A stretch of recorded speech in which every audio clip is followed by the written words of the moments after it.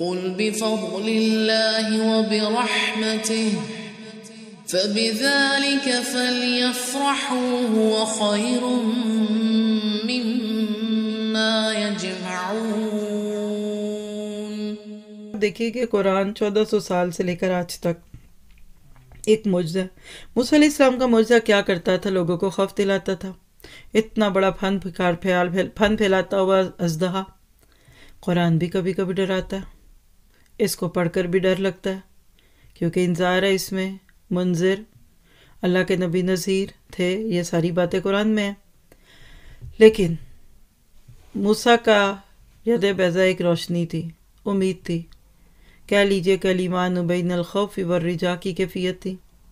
आज ये कुरान भी मोमिनों के लिए रहमत है।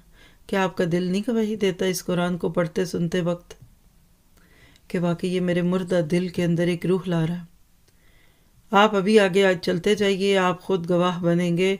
एक खातून जो मुस्लिम हुई तो उनके कुछ जुमले ऐसे थे कि मेरा दिल करता है कि मैं शहर की सबसे ऊँची इमारत पे खड़ी हो जाऊँ और लोगों को चीख चीख कर बताऊँ कि ये किताब कितनी खूबसूरत है।